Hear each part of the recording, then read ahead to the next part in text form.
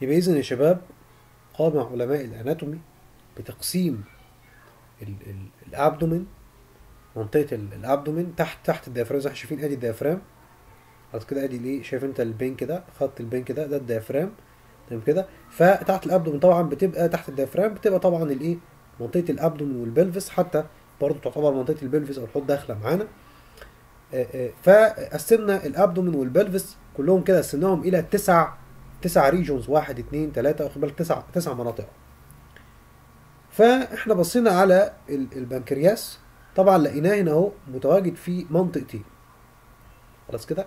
آسف نجيب ال- التفصيلات متواجد في منطقتين. خلاص كده المنطقة ديت اللي هي ال umbilical region وأنت لو أنت يعني تيجي تبص على ال anatomy بتاع البنكرياس هتجد إن هو صحيح بيبقى transverse يعني بيبقى أفقي بس تلاقيه بيقول لك slightly upward يعني إيه؟ يعني البنكرياس صحيح هو يعني مش بيبقى عامل كده. مش بيبقى transverse كده لأ بيبقى طالع كده شوية. خلاص كده؟ فالبنكرياس بيبقى transverse آه صحيح أفقي بس slightly upward يعني بيبقى طالع لفوق شوية. وبالتالي هتجد منه قطعة آه، آه، بتبقى موجودة هنا أهو أو في ال head بتاعته بتبقى موجودة هنا أهو في المنطقة ديت اللي هي ال umbilical region بالمناسبه بيسموها umbilical region عشان السرة بتبقى هنا في النص هنا umbilicus خلاص؟ وبعدين أدي ال head مثلا والايه وال body وال tail واخد بالك؟ اللي هم الأجزاء اللي إحنا جبناها اللي بتبقى موجودة ورا ال stomach أو ورا المعدة. وبعدين النهاية هنا بتبقى في المنطقة دي. المنطقة دي بنسميها ال left hypochondria أو ال left ال left hypochondriac region. خلاص كده ممكن تسميها left hypochondrium أو left hypochondriac region.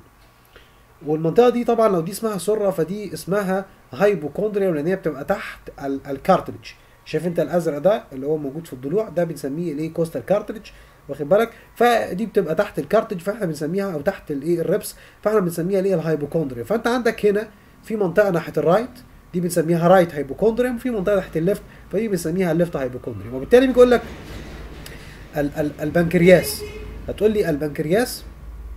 ك site أو كموقع بيتواجد في منطقة ال umbilical region وبيتواجد في منطقة ال left hypochondrium وبيبقى آه، آه، صحيح transverse لكن بيبقى slightly upward وبيمتد من عند ال right بيمتد هنا أهو آه، من عند الايه ال right بيمتد من عند الايه ممكن نسميه ال concavity of the duodenum يعني الحتة دي من ال duodenum بتبقى مقعرة شوية كده.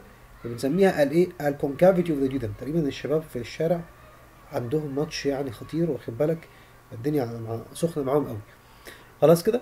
يبقى اذا الايه بتبقى ال- ال- البنكرياس بيمتد من الايه ال concavity ال head طبعا تحتين اللي هو الجزء بتاع الايه اللي هو ده بنسميه ال head of the pancreas بيمتد من عند الايه ال concavity of the duodenum وبيبقى covered بالجزء ده من ال colon زي ما إحنا شايفين طبعا آدي الايه شايف ده ال colon اهو ده ال ascending colon وده هنا ال transverse فبيبقى covered بالجزء اللي هو بنسميه ال transverse colon خلاص كده الايه ال transverse إيه colon يبقى طبعا ده ال ascending colon وده ال transverse وده الايه ال descending colon فإحنا ممكن نقول إنه آه، آه، آه، البنكرياس بيتواجد في المنطقة ال umbilical region وبيتواجد في منطقة ال left hypochondria وإنه ال head بتاعته أو البداية بتاعته بتبقى عند الايه ال concavity of the duodenum وإن هذه ال head بتبقى covered بال transverse colon وإنه ال body وال tail of the pancreas بقيت بقى الأجزاء بتاعت البنكرياس ال body وال tail بتاع البنكرياس بيبقى deep to the stomach أو بيبقى ورا المعدة.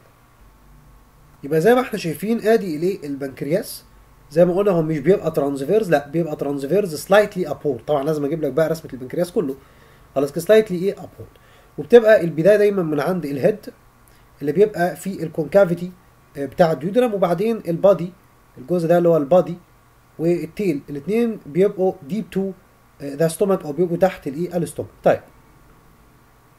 آه، لو كانت البداية هنا عند ال head وفي النص ال body والنهاية عند ال tail ال head كانت بدايته عند ال concavity of the duodenum فال tail بيتواجد عند شوف بقى الحتة دي مهمة قوي بيتواجد عند organ مهم جدا عندنا. ال organ ده بيتشرح مع ال immunology مع المناعة اللي هو ال spleen أو الطحال. فالبداية from the right من عند ال concavity of the duodenum والنهاية ال head بتاعت البنكرياس بتحضن ال concavity of the duodenum والنهاية في ال left عند ال tail of the pancreas اللي بينتهي عند السبلين أو عند الطحال.